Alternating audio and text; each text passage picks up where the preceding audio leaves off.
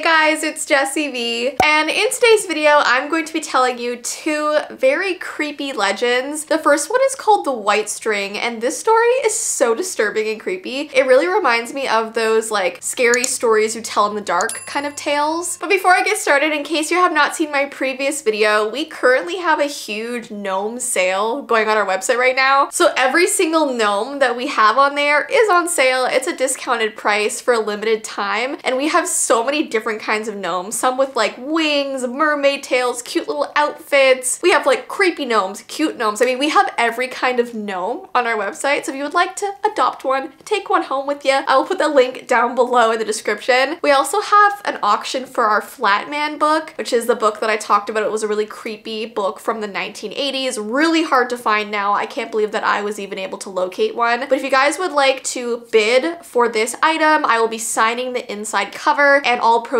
go towards our Yana Foundation, which is really awesome. So I'll put a link to the Flatman book down below in the description. We also have a brand new line of flower necklaces. They're so gorgeous. They're basically flowers encased in resin. So it's like clear and you can see all the petals and they're just so, so cool. And they come in a bunch of different colors. And we also have the matching earrings for them. So if you guys would like any of those, I'll also link it down below. A lot of links down below. But I just like to keep you guys posted on what's going on behind the scenes. It's not just videos. We also have such a cool cool shop going and I'm just so passionate about it. So thank you guys for all of your support. Anyways, without further ado, let's get into our first creepy story. This is called The White String. A young girl desperately wanted to get her ears pierced, but her parents said that she was too young. She pleaded with them, saying that all the other girls in her class had pierced ears, so eventually her parents relented and agreed to let her do it. They gave her some money and told her to go to her local mall and get her ears pierced in a jewelry jewelry store, which is what you should be doing when you're getting your ears pierced. Go to someone professional, go to an actual jewelry store that will do it properly. But instead of listening to them, of course, the girl decided to keep the money and do the piercing herself. She got her best friend to help her do it. Now guys, please never do this. Never, ever, ever. And you're gonna see why. I mean, this story is kind of a cautionary tale. So they heated up a needle and stuck it through both of the girl's earlobes. It was quite painful, but in the end, her ears were pierced and she was delighted to be able to wear earrings. However, only a few days later, the girl was in school when she began to feel a pain in her left ear. Her earlobe also felt extremely itchy. During break time, she went into the bathroom and looked in the mirror. Her earlobe was red and inflamed, and she began scratching at it. When she looked closely, she saw what looked like the end of a piece of white string sticking out of the hole in her earlobe. And thinking it was very strange, she began to pick at it and pull at it. And after a few minutes, there was a long piece of white string hanging out of her pierced earlobe. There didn't seem to be any end to it, which is so creepy. She just kept pulling and pulling. So finally, she got out a pair of scissors and cut the string. Suddenly, everything went black. She couldn't see. She was rushed to the emergency room at the local hospital where a doctor examined her. And when she told the doctor what happened, he was completely shocked. This is what he he said. I'm sorry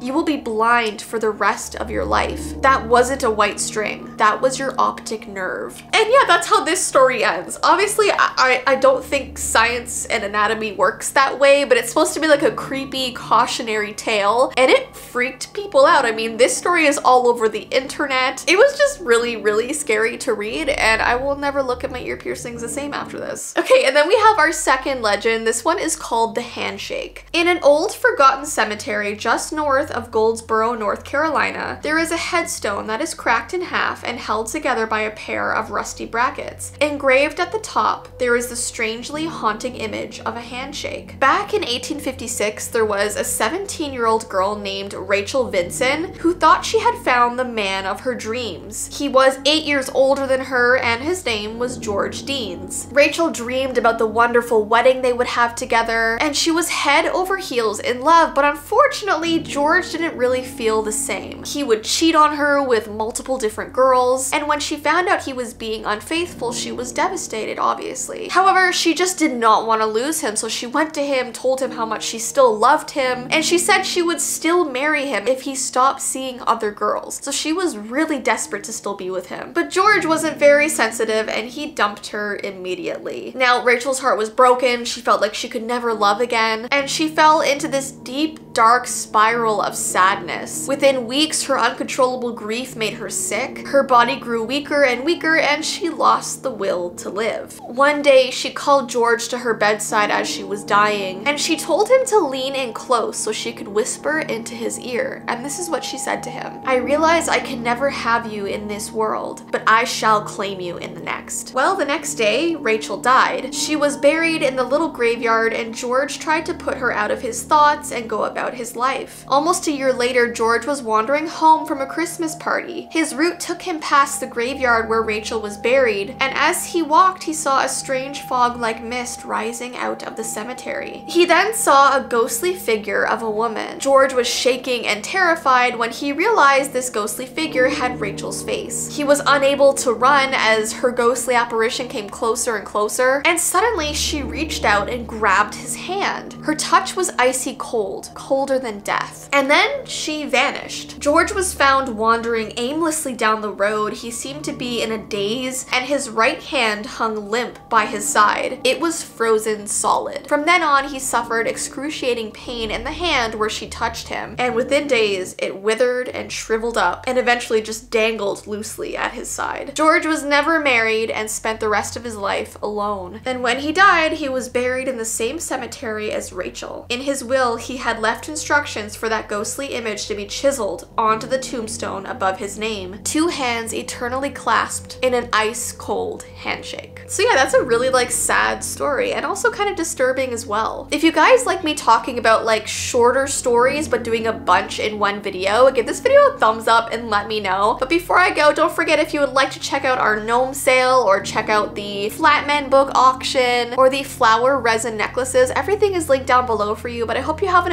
amazing rest of your day and I will see you in my next video. Bye!